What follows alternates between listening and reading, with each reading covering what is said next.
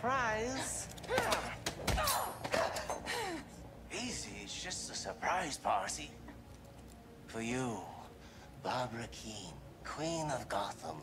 Business Tyson, how exciting.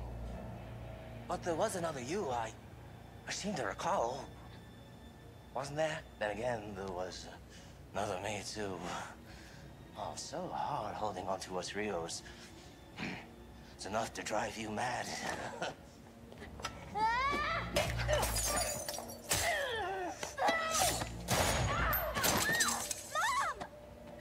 Cute.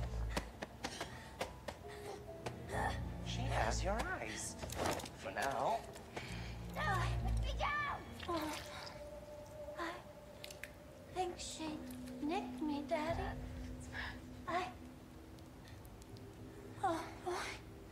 Dear me, sweet Ecco, no longer my Ecco.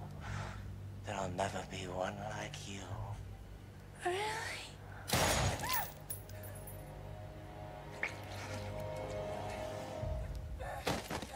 But I suppose there are other fish in the sea.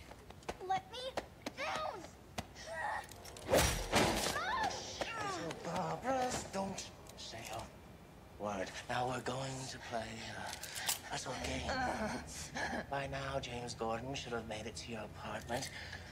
When he gets here, I want you to deliver a message. Okay? Okay? Okay.